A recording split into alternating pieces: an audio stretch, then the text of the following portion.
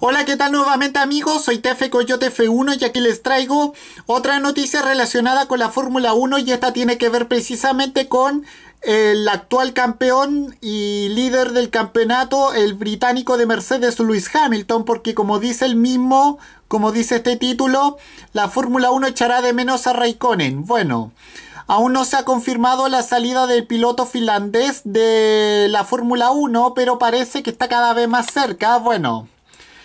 bueno, recordemos que en la reciente edición del Gran Premio de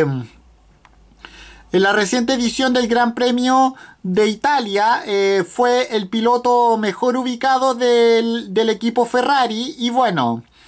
eh, pero todavía no es oficial esto, pero parece que la marcha de Kimi Raikkonen de la Fórmula 1 está cada vez más cerca. Eh, y parece que el y parece que hizo que el anuncio de su renovación se, se retrasara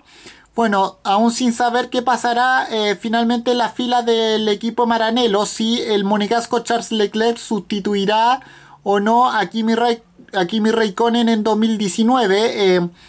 algunos ya están hablando de la retirada del piloto finlandés de la Fórmula 1 y uno de ellos es el ya mencionado Lewis Hamilton, que no sabe si echará de menos o no a su rival de Ferrari, pero confirma